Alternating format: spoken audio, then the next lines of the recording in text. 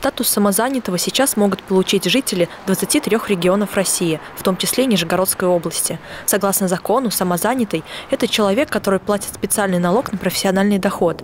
При этом статус самозанятого вы можете получить только в том случае, если у вас нет наемных работников, а уровень дохода не превышает 2 миллионов 400 тысяч в год. Самозанятый – это тот, кто что-то делает своими руками не сдает в аренду какое-то имущество, за исключением лиш, личного, ведь э, сдача в найм э, собственного жилого помещения тоже э, один, один из видов деятельности самозанятых.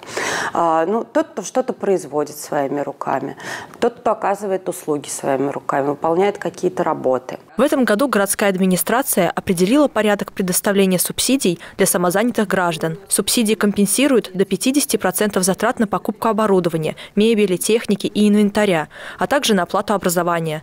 Для того, чтобы получить субсидию, необходимо выполнить ряд требований. Он должен быть зарегистрирован в качестве самозанятого не менее 6 месяцев. Расходы, которые самозанятый понес, он должен понести в период своей деятельности, естественно.